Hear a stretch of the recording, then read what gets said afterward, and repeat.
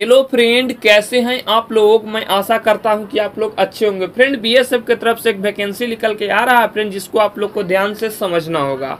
इसमें क्या है फ्रेंड कि सभी पैरामिलिट्री फोर्स जितने भी पैरामिलिट्री फोर्स है, चाहे वो असम राइफल है, चाहे वो फ्रेंड एसएसबी है, चाहे वो आईटीबीपी है, चाहे वो सीआईएसएफ है, सभी में फ्रेंड निकला है हेड कॉन्स्टेबल मिनिस्ट्रियल का पद।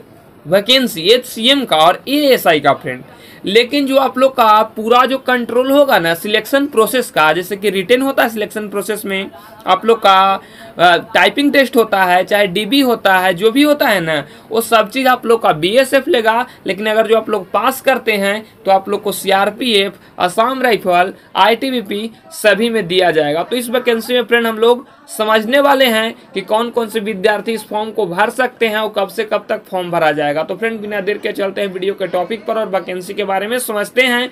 ये फ्रेंड, मैं आप लोग को दिखा देता हूँ, ये नोटिफिकेशन है जो मैं आप लोग को अभी दिखाने वाला हूँ। आप लोग यहाँ पर ध्यान से देखिए फ्रेंड। ये इसका नोटिफिकेशन है। इसका नोटिफिकेशन आप लोग ध्यान से देख लीजिए। और उसके बाद मैं आप लोग को एकदम आराम से समझाऊँगा कि इसमें कितना पद है, क्या नहीं है। मैं सब चीज़ आप लोग को समझाऊँगा। तो चलिए फ्रेंड मैं आप लोग को अब समझाना स्टार्ट करता हूँ। ये फ्रेंड इसमें जो टोटल पद है, वो 1526 पद पर वैकेंसी है। टोटल पद कितना है? 1526 पद है, जिसमें एच और एएसआई के पद मिलाकर वैकेंसी है।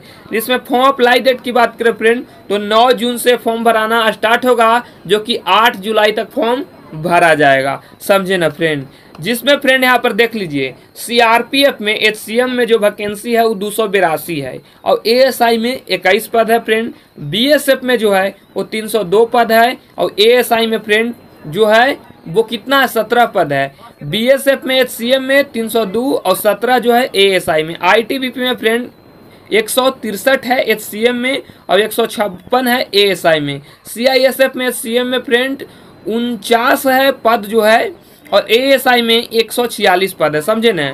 एसएसबी में पाँच पद है सीएम में फ्रेंड और एएसआई में तीन और असम राइफल यानी एआर में।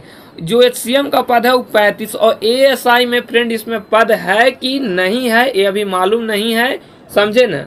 तो ये इसमें आप लोग डाल सकते हैं, वो आगे भी बता देता हूँ कि इसमें योग्यता क्या रहेगा फॉर्म भरने के लिए। तो पहले फ़ी के बारे में समझते हैं। तो friend general O B C W form भरने में सौ रुपया लगेगा, और अदर कोई रहता है general O B C W को छोड़ के उसे एक भी फॉर्म रुपया नहीं लगेगा फॉर्म भरने में। और एज की बात करें फ्रेंड तो 18 से 25 साल के विद्यार्थी फॉर्म भर सकते हैं। और फ्रेंड, ओबीसी को तीन साल का छूट मिलेगा और एस सी की उम्र में पाँच साल का छूट मिलेगा।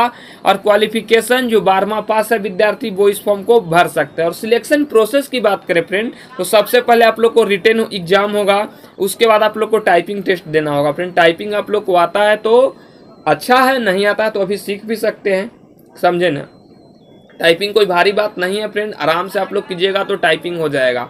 मैं भी अच्छा टाइपिंग कर लेता हूँ, समझे ना? मैं भी कम समय में कर लेता हूँ, इसलिए बता रहा हूँ कि भारी बात नहीं है ना तो अगर हम नहीं कर पाते तो आप लोग को भी ऐसा मैं नहीं बताता कि आसान है। टाइपिंग करना आसान है, कीजिएगा तो हो जाएगा, समझे ना? रिटेन होगा, उसके बाद टाइपिंग टेस्ट होगा, उसके बाद मेडिकल होगा, उसके बाद डॉक्यूमेंट वेरिफिकेशन होगा, उसके बाद आप लोग फाइनली किसी न किसी डिपार्टमेंट में फॉर्म भराते वक्त कहानी च्वाइस दिया जाए फ्रेंड के पहला सीआरपीएफ डालिएगा बीएसएफ डालिएगा आईटीबीपी डालिएगा, क्या डालिएगा? समझे ना? कुछ च्वाइस दिया जा सकता है तो आप लोग को फॉर्म भराते वक्त ही पता लगेगा। समझे ना फ्रेंड और फ्रेंड इस वैकेंसी से कोई भी डाउट रहता है या किसी भी वैकेंसी से कुछ भी डाउट रहता है तो आप लोग कमेंट ज़रूर कीजिएगा। मैं कमेंट के माध्यम से डाउट को सोल्व करने का हंड्रेड परसेंट कोशिश करूँगा।